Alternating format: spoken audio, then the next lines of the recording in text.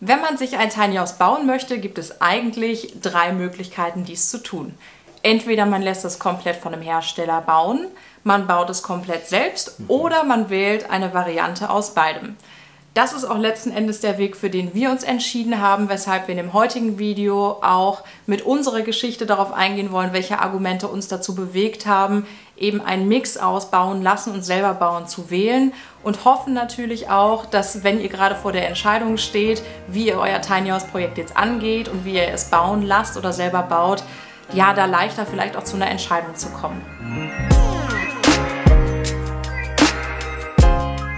Wir sind Anja und Ilan, freuen uns sehr, dass ihr eingeschaltet habt. Wir sind ja jetzt äh, 60 Prozent, würde ich sagen, also über 60 Prozent vorangeschritten mit dem Bau unseres Hauses, auch mhm. mit dem Innenausbau unseres Tiny Houses. Und wir haben vor rund drei Jahren, fast drei Jahren sind es jetzt, äh, ist es jetzt her, mit dem Bau unseres Tiny Houses oder mit der Planung unseres Tiny Houses begonnen. Es gab aber auch viele Entscheidungen und Kompromisse, die wir eingehen mussten. Deshalb möchten wir jetzt an dieser Stelle nochmal zurückblicken, welche Gedanken und welche Argumente zu unserer Entscheidung geführt haben und dabei auf den Kostenfaktor eingehen, als auch die Individualität, die Materialienauswahl und die Zeitplanung. Am Ende verraten wir euch dann auch, ob wir alles nochmal so machen würden oder nicht. Wenn ihr auch in Zukunft keine neuen Videos mehr verpassen wollt, dann könnt ihr jetzt sehr gerne unseren Kanal abonnieren, um unseren Kanal und unsere Arbeit auch zu unterstützen und aktiviert auch gerne das Glöckchen, damit ihr auch immer wieder benachrichtigt werdet, sobald es ein neues Video von uns gibt. Als wir uns damals für den Bau unseres Tiny Houses entschieden haben, war uns klar, dass wir das Haus nicht nur mobil auslegen wollten, das heißt, da es ja auf Rädern ist, sind wir davon ausgegangen, dass es das auch ist, sondern dass wir es auch bis 3,5 Tonnen bauen wollen und auch selbst bauen wollen. Warum wollten wir selbst bauen? Ich denke, wir wollten einfach auch die eigenen Materialien wählen, das heißt weitestgehend mit, mit recycelten Materialien bauen, somit auch nachhaltiger bauen. Kostengünstig. Kostengünstiger bauen, ja. das war ganz, ganz wichtig. Der Kostenfaktor war ja ganz wichtig bei uns. Und auch dieses Gefühl haben, es mit den eigenen Händen zu machen. Also ja. wir wollten einfach in unserem Leben unser eigenes Haus mal selbst gebaut haben. Es war irgendwie. Und diese Lernkurve auch mitnehmen. Ja. Es stellte sich damals also die Frage, wie können wir das umsetzen? Wir haben ja einen Kostencheck gemacht, mhm. wir hatten ein gewisses Eigenkapital, um auch zu sehen, wie viel müssten wir gegebenenfalls noch finanzieren. Ich meine, wir waren damals bei 15.000 Euro knapp äh, Eigenkapital, Eigenkapital mhm. genau, und sind auch davon ausgegangen, dass wir das mit Eigenleistung und recycelten Materialien und ne, mit dem, was wir vorhatten, dann auch, dass wir damit auch hinkommen, weil ja. wir wissen, dass das geht. Nachdem der Kostencheck abgehakt war, haben wir uns die nächste Frage gestellt, wo können wir denn um Berlin das Tiny House bauen? Haben also geschaut, gibt es Grundstücke oder heiß. Ja, ist heiß. Gibt es Grundstücke oder finden wir vielleicht irgendeine Halle, wo wir das Haus bauen können? Im besten Fall sogar vielleicht mit jemandem, der schon mal ein Tiny House gebaut hat, vielleicht mit einem Hersteller. Das Problem waren aber hier mal wieder die Kosten. Also wir haben auch in Berlin, um Berlin, einen Tiny House Bauer gefunden. Ja die Hallenkosten als auch die Kosten für die Rückfragen, die wir uns offen halten wollten, das war einfach utopisch. Und dann noch mit der Ungewissheit, weil wir gar nicht einschätzen können, wie lange braucht denn so ein Projekt, wenn wir zu zweit uns ein Tiny House bauen. Wussten wir ja nicht. Also ja. sind wir vom Selbstbau, wir sind immer noch beim Selbstbau geblieben, ja. Aber haben uns dann gesagt, naja, vielleicht gibt es ja irgendwo einen Bausatz, mhm. den man kaufen kann. Kommen wir zum Zeitfenster. Wir haben uns natürlich auch überlegt, ob wir vielleicht vier Monate, uns vier Monate in dieses Projekt stürzen, unsere Jobs aufgeben oder das Vollzeit dann eben machen und mhm. in vier Monaten dann auch fertig sind mit dem Haus oder gegebenenfalls Geld anzusparen, also Vollzeit zu arbeiten, das Geld zu sparen, uns ein Baugrundstück zu suchen. Das war aber auch direkt raus, weil ja. wir gesagt haben, oder da sind wir als Typen einfach anders. Natürlich wäre es rein rational gesehen wahrscheinlich vernünftiger, erstmal Vollzeit noch ein Jahr zu arbeiten, das gleich in das Haus zu investieren.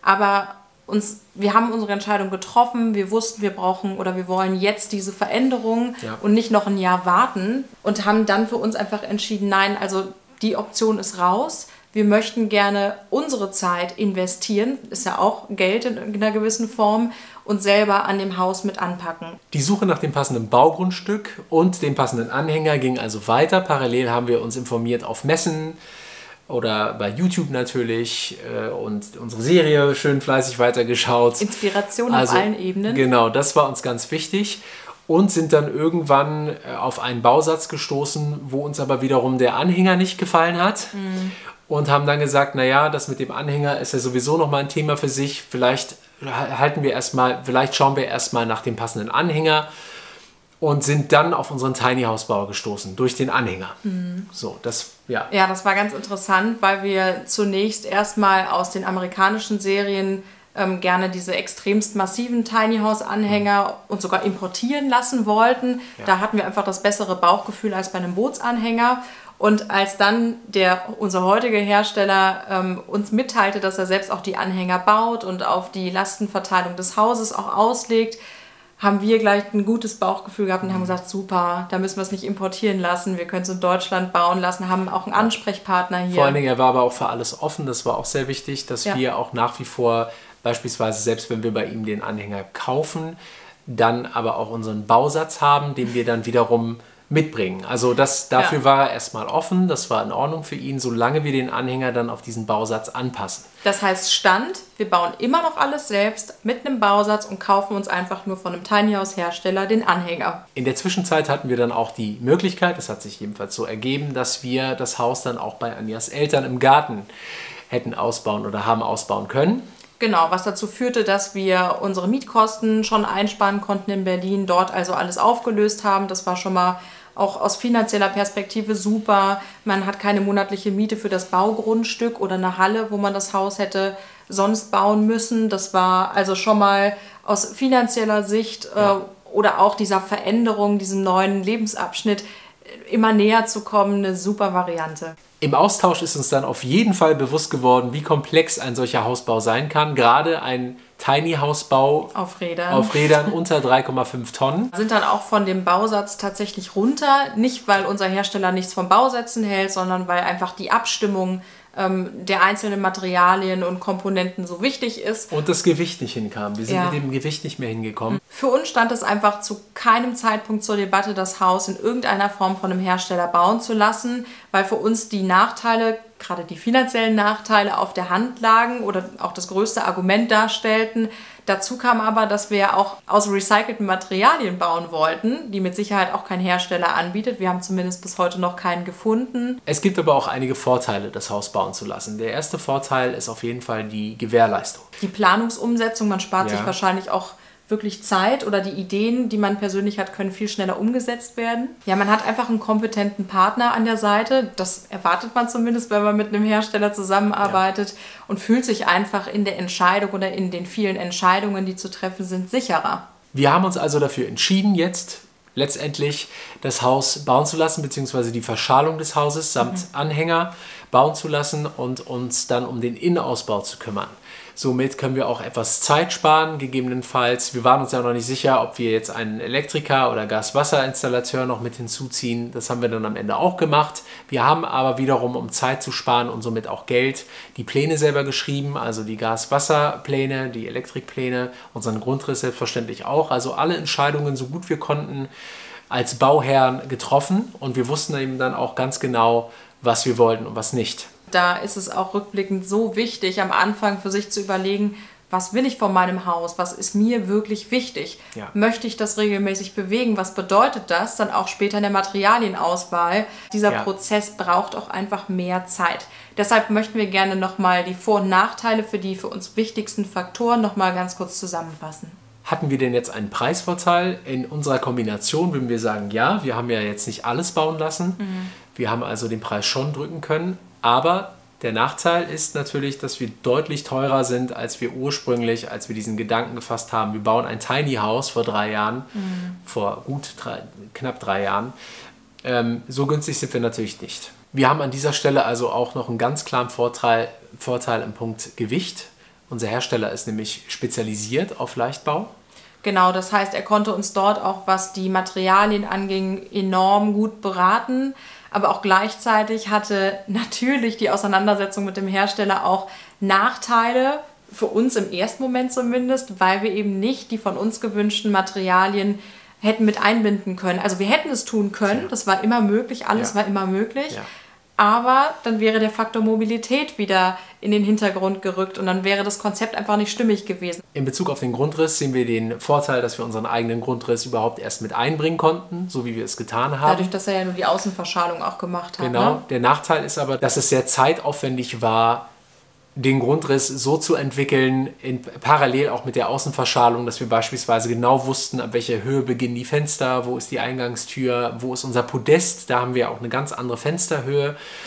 Eigentlich muss man bei der Fensterwahl schon fast alles entschieden haben. Haben wir Ja. tatsächlich gemerkt. Alleine die Fensterentscheidung hat uns Monate gekostet, weil eben auch klar sein musste, welchen Boden nehmen wir, welchen Bodenaufbau brauchen wir. Das heißt, ab welcher Höhe genau fängt ein bodentiefes Fenster an. Es hörte das- nicht auf. Es war einfach eine Planung. Nee, aber er Ja. musste das auch wissen wegen der, wegen der Lastenverteilung. Also Ja. er hat den Anhänger auch darauf ausgelegt und das Ständerwerk natürlich. Ein Vorteil, den ich im heutigen Ergebnis sehe, also wo wir heute stehen, ist ganz klar, dass ich mir nicht mehr so viele Sorgen mache oder Gedanken mache darüber, ob wir unser Haus bewegen können oder nicht. Für mich ist ein Nachteil in dieser Konstellation schon aufgefallen, dass ähm, auch Experten oder Handwerker, die wir dann auch später hinzugebucht haben oder die wir um Hilfe gefragt haben, die einfach so eine Routine über Jahrzehnte haben, dass da manchmal der Fokus für diese Ästhetik, für diese alles, was nicht mit dem Funktionellen zu tun hat, weil funktionieren tut es alles, ist alles in Ordnung. Ja. Aber dass wir aus, aus unserem Blickwinkel sagen, ah, da hätte man aber doch noch hier ein bisschen auf den Abstand achten können oder da nochmal. Sie haben einfach eine andere Toleranz. Ne? Ja, äh, klar, weil Zeit ist auch Geld. Am Ende bezahlen wir das. Also es hat ja alles seine Vor- und Nachteile. Ja. Aber bei den Dingen, die wir zum Beispiel gebaut haben, die sind mit Sicherheit handwerklich auch nicht korrekt, aber auf den ersten Blick, das, was eben das Auge sieht, Wir haben auch zehnmal so lange gebraucht. ja, aber es ist halt das eigene Haus. Und da muss man immer, wir kennen das auch von anderen Leuten, die sich ein großes Einfamilienhaus haben bauen lassen oder sich ein Badezimmer haben einbauen lassen. Es passieren immer Fehler, weil Zeit ist Geld, die Leute wollen das schnell fertig kriegen.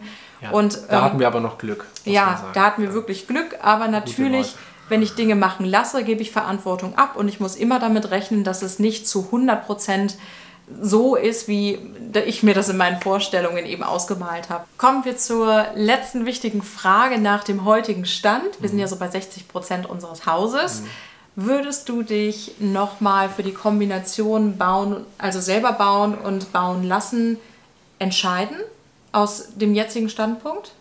Ich würde sagen, ja.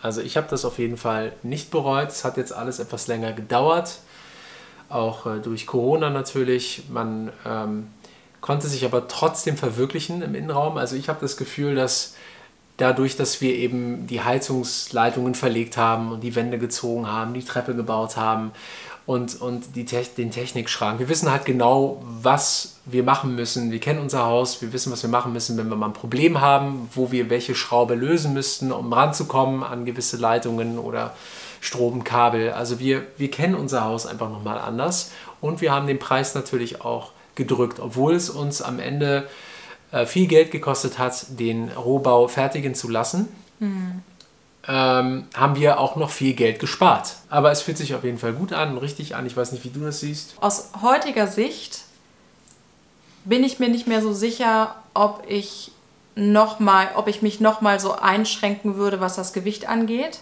Auch wenn mir die Mobilität ein unheimliches Freiheitsgefühl gibt, aber auch gerade im Austausch mit anderen Tiny House Bewohnern. Wir durften jetzt schon einige besuchen, auch gerade unser letzter Besuch bei Toni und Markus. Wir verlinken das noch mal gerne. Haben die beiden auch das Ziel gehabt, bis 3,5 Tonnen zu bauen und haben es halt total gecrashed. Und man muss sich einfach die Frage stellen, wie oft will ich das Haus wirklich bewegen in der Praxis? Und was bedeutet das aber für mich, um dieses Ziel zu erreichen? Ist es mir das wert? Und ich weiß nicht, ob ich das nochmal im Nachhinein, ob ich diese Entscheidung nochmal so treffen würde. Aber vielleicht kann man das auch nochmal besser beantworten, wenn wir in dem Haus wohnen, ob, ob wir dann auch die 3,5 Tonnen wirklich irgendwie crashen, weil unser Fußboden knapp. zu schwer ist oder wie auch immer. Also es wird so oder so eng. Drücken wir einfach mal die Daumen, dass es noch klappt, dass sich die ganze Arbeit gelohnt hat. Wie seht ihr das? Schreibt das gerne in die Kommentare. Wenn ihr ein Tiny House bauen würdet, würdet ihr euch an die 3,5 Tonnen halten oder würdet ihr schwerer bauen? Das ist auf jeden Fall eine massive Einschränkung. Wenn man es äh, Wenn man's unter leicht 3,5 baut, genau. Macht. Ja. Hinterlasst uns gerne einen Daumen nach oben, wenn euch das Video gefallen hat. Ne? Und Schaltet nächste Woche wieder ein. so ist es. Ciao. Tschüss.